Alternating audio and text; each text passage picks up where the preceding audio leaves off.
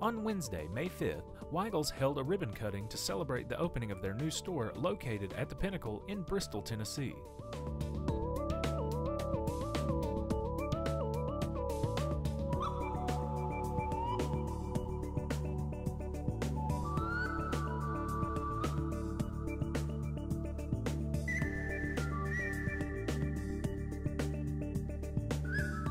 The chain is a Tennessee based business with over 65 locations in Northeast Tennessee.